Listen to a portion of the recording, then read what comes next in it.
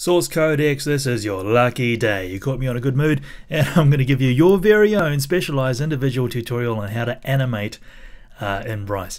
But um, there's going to be a few restrictions here because animation is a huge topic. Bryce itself is a huge topic, so we're just going to stick with the basics. Um, so what you're seeing at the moment is your default scene from Bryce. There's a camera in the distance here, and you're looking at it from the director's point of view. You can tell which camera you're using, either the director or the camera, through this icon here. And you can click on it and select the camera view. The director doesn't have an icon or anything else to represent what it is. It's just an invisible view. So you can toggle between these two views to see what's going on in your scene. Ultimately, you want to render your scene through the camera but you can render your scene through the director. But render your scene through the camera. Alright, so there's a couple of things to know about animation. First off, um, down the bottom here, uh, you have your animation timeline. And you can you can start your animation by either double clicking on the scrub tool here or setting your animation preferences here. They both get you to the same box where you enter in uh, the duration of your animation and how many frames per second. Just as a little tip, uh, YouTube really likes 30 frames per second and your ratio, that is the dimensions of your box, should either be 1280 pixels by 720 pixels down, so that's 1280 across, 720 pixels down, or 1920 pixels across and 1080 pixels down, uh, sorry, 10 1080 pixels down, or 1080. All right, that's document size, that's your duration and time. I'm just going to get rid of this because I'm going to set animation yet another way. I'm going to set an animation of, I don't know, well, we'll see how we go because we can set this dynamically as we go along. And my animation is I'm going to create a, oops, wrong one, create, yep, create a terrain, stick it in water because everyone loves, loves little islands and water.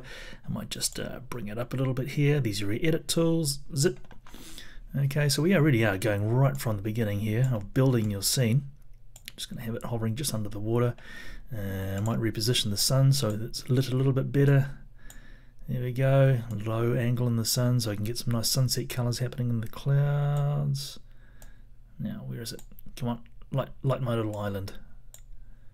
Cool, that'll do. And I might change the island uh, material as well. The material are the colors on the island.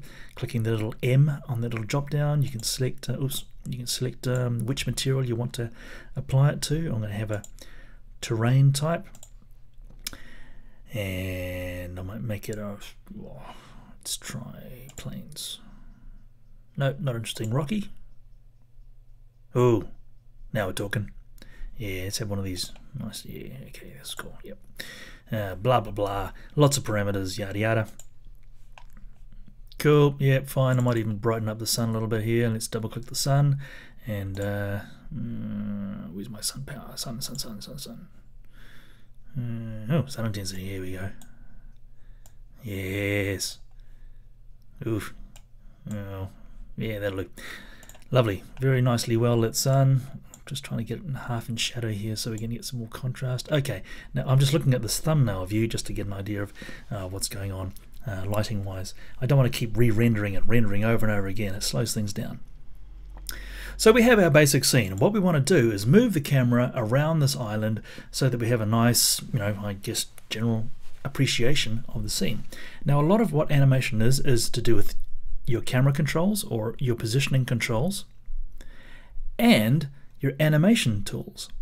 Now, if you uh, go down here, by default, I think Bryce sets up, th these are your selection tools, so you can select all of the things that are cylinders, uh, or the, all the things that are toruses. You can select these things. Of course, we don't have any of these things in the scene, but we can select all the terrains. Or if you hold down on these buttons, you can select which terrain, okay? But we don't want these tools. We want the animation tools. In particular, we want to check one thing, are we working in auto key mode or not in auto key mode? Auto key mode means anything you move, any change you make to the scene will be recorded as a keyframe. All right.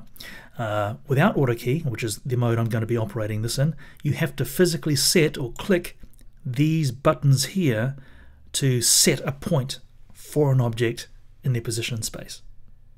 Hope that's clear. Won't cover this other stuff. But anyway, what I want to do is look because I'm in director view and I've uh, kind of arranged the scene uh, on the point of view of the director. I want to bring the camera, excuse me, to the director. And there's a very easy command to do this. It's over here, camera to director. And here, when I let go, the camera will disappear because it's now taking the viewpoint of the director. If you don't believe me, I'm still in director mode here, as we can see here. I'm going to click on the camera. Same view. Same view. I'm in director. I'm going to move away from the camera mode. You can sort of see these little lines. I'm backing off the camera at the moment. And I'll just rotate around it so you can see the camera is, or rather was, no, it is where my director is now. Uh, was, rather. Okay, so I'm just going to take a aerial view now of my scene. Come on, you. Just drag a few arrows here and just back off a little bit. Cool. So to essentially get an idea of flight, what we want to do is move the camera around the scene. Okay. Now, this we're talking about the camera here, but really this applies to any object you can put in Bryce. First thing we're going to do is set a keyframe for that camera's position. And we're going to do that simply by just clicking this plus button here. You select the object, click plus. Done. Little gold key lights up saying that there is a keyframe for this object at this time. Now I'm going to move the timeline along. Scrub tool says, oh, let's go to five seconds. There we go. And now I'm just going to move the camera around over there somewhere. And now I can do that by dragging it, by physically clicking on it and dragging it around, but I want to keep it on the same height, same altitude if you like. So I'm going to use the edit tools and then position the camera in the X and Z directions just so we get a nice kind of position there. Right. So that's uh, a new position for the camera. But there's nothing telling Bryce that there is a keyframe for it. So we go down and set another keyframe. Watch what happens. Hey, there's a line here now. So that line just tells you when that object is selected. I'm just going to unselect it. No line. Select it again. That line tells you that there is a path or trajectory that this camera is going to go. Another thing you notice is that now this line down the bottom is filled in with a solid dark green. That indicates that there is action happening in your time. Let's play back this animation just in wireframe. We're just using these playback buttons here. I'm sure you're familiar with them, being a muso. We'll press play.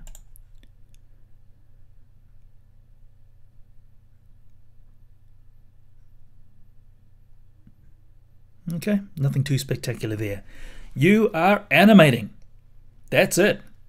Now, obviously, there are, there comes a time when you want to sort of look at this thing, because at the moment, if we were to go into camera view at the moment, clicking here, we can see the island's kind of slid out of view, and you can also see a feedback happening there. So if we were to go back to the beginning and press play again, this is our animation as the camera would see it. Naturally, of course, it'll be a land on an endless plain of water, but the island would just kind of drift out of view. So what we're going to do is add a tracking maneuver to the camera. And the easiest way to do that is to go back into director mode because the director, remind, you know, I've set the scene up so the director has a kind of God's eye view of everything that you can see in your scene. Make just makes it easier to plan out.